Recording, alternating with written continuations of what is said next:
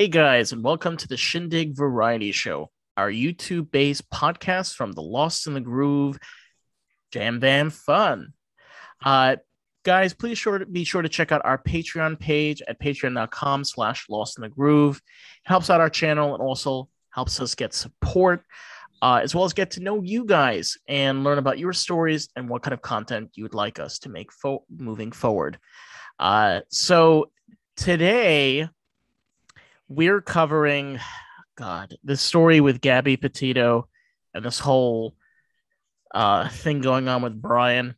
Uh, I, I mean, this is this is a very, very sad story, very heart wrenching, and you know, I mean, I wish we had more answers. You know, there's so many questions and there's so many things going on. We were touching base before about this thing where both families, even though the cup, you know, they're both been engaged, they don't want to have anything to do with each other. There's like a cold shoulder going on. And I don't know.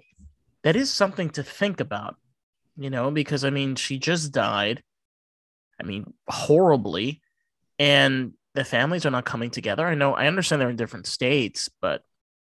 Well, I it's also, it's also consider this is that they're, uh, the investigation is pointing towards their son. So maybe their lawyer is telling them, like, hey, keep your distance, keep your mouth shut. Everything goes through me at this point. You, have, you know, you want to make any statements to the public, you do it through me. That's a possibility. It's a yeah. But honestly, you know, that's something probably uh, that we'll discuss over the coming weeks as we find out more. Um, yeah, you you wanted to do more research, like we we should do more research and learn a little more about the families because uh, your original theory about um, about what you know what you thought might be going on um, between the families, between the kids, their marriage. Um, that's it's really interesting to me. I think uh, that would be worthwhile to dive into and then see what we can find out and bring it to the listeners. Yeah, there's an a uh, there's an article from the U.S. Sun. I I don't know I don't know that much about them. This was written by Katie Forrester. Uh, thank you, Katie. This article was actually very helpful, so much appreciated. Uh, one thing that she did was in this article was do a, a timeline, so we have a little bit of a picture as to what's going on. Uh, I, think it's a good idea to kind of get a brief overview, so we we kind of have the picture in our head what happened from June all the way uh, till now. I mean, we're in October. This stops in September. Uh, so, kind of just a brief understanding Gabby Petito was 22, uh, was last seen on August 24th, leaving a hotel in Utah. Her here is a timeline of Gabby Petito's disappearance. So, on June 2021, Gabby Petito and her fi- fiance Brian Laundrie set off on a cross country trip across the United States. July 4th, Gabby posts a photo of herself barefoot in Gove County, Kansas. I actually, I think I saw that picture. Uh, July 8th, Gabby posts a photo of herself at the Grand Sand Dunes National Park in Colorado. July 18th, Gabby and Brian post photos of themselves at Utah Zions National Park. Uh, August 12th, Battery. So, this was that video that we saw uh, that came up from the uh, Utah police uh, where they had a body cam that was on and she was crying and she was sitting in the, you know, the police car. Then on August 19th, Gabby and Brian posted a video on their YouTube channel chronicling their trip. I didn't know they have a YouTube channel. I think I'm going to check this out. I don't know if it's been closed or anything like that, but that might actually be a little bit helpful. I don't want to pick into anybody's business. We just want to make sure to give you guys the most accurate information so we know what we're saying. Uh, on August 24th, Gabby is spotted leaving a hotel in Salt Lake, Utah. I'm assuming that's what they meant at the very beginning. On August 25th, Gabby FaceTimes her mom, Nicole Schmidt, for the final time. In a later police report, Schmidt said her conversations with her daughter revealed more and more tension between her and Brian. August 25th, Gabby also posts her last Instagram, no location is given. August 27th, Gabby is seen for what's believed to be the final time. Witnesses claim they saw Brian in an explosive argument Okay, I don't know what explosive means. That's a little bit vague. Which staff at a restaurant in Jackson Hole, leaving Gabby in tears. Uh, do you want me to continue, or we, we're we're kind of I mean, there's that's a that's a, a lot of timeline right there. I mean, yeah, I mean this is yeah. nothing there suggests like, oh man, they're in such bad shape that the next the next thing it leads to is you know death and murder. I'm just curious. What do they? What do you think their intentment was by saying an explosive argument?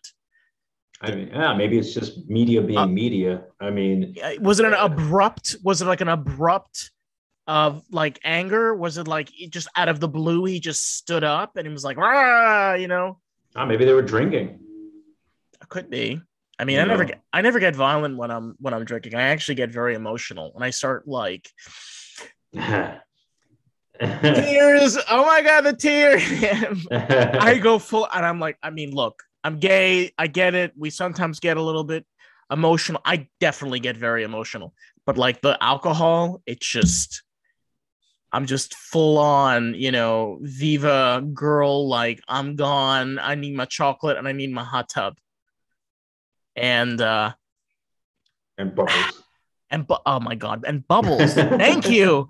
So I, I agree with you on this. I mean, there's nothing that's leading us to any con- kind of conclusion that like it was so bad that like there's people seeing them like beating each other up with bats in front of their camper. No one's saying this. It doesn't seem Yes. like there's any sign of murder motivation.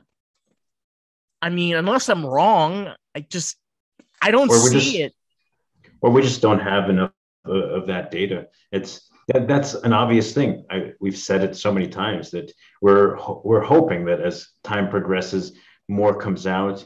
Uh, I want to know what that autopsy reveals. They refuse to reveal anything there. Uh, the sheriffs still are holding the body.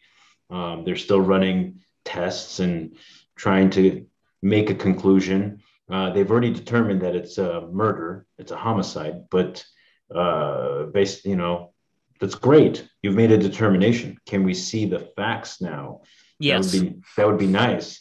Uh, Mhm. What what what what drew that conclusion? Did you find a weapon? Did you find stab wounds? Did you? They didn't find, uh, from what I was reading, they didn't find anything. I mean, seriously? Yeah. That's that's I don't know. I don't I don't want to say disappointing, but it's disappointing in, in, in all the reports that we're getting in that you know, um, and that the the final conclusion is homicide, and yet we don't have enough physical evidence to uh, substantiate it. Um, I don't, you know, what can I say? Uh, you know, I'm not a detective, not a coroner, so, No. but still, I, I I have to I have to wonder if maybe Here's- your theory if your theory is you know Here, here's the um, here's the interesting thing. On September 23rd, the officials announced a federal arrest warrant for Brian was issued. Okay, so just to give you a wrap, a few days before, the police seized his car. They conducted the autopsy.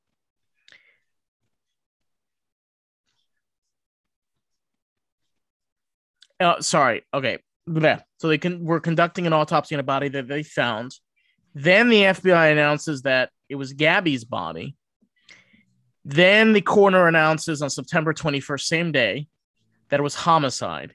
Then on September 22nd, they continue scouring the Carlton Reserve to find Laundrie. And like they have this whole team that's going on. And then, like on September 23rd, federal arrest warrant.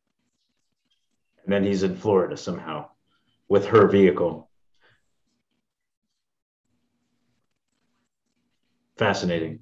some something's you know I, I mean to to come out with a okay so an arrest warrant is an arrest warrant okay so what's the difference between just to give you guys an understanding a federal arrest warrant means that any police department any county any state highway patrol officers anyone is federally bound by our government to go after this guy so every single police department in this country is in a lookout for this guy. That's pretty serious. That is very serious. So the fact that he has not been found when, I mean, we have police officers, they exist, they exist in Tennessee, and they exist in Florida. But also park rangers too. They have the authority as well. Oh yeah. And- and- oh yeah. and he he's been he's been already seen. We covered that in the you know last episode. He's been seen on the uh, uh, on the back trails of various parks. I mean, he, he's bound to get found, but you know maybe they're not looking hard enough.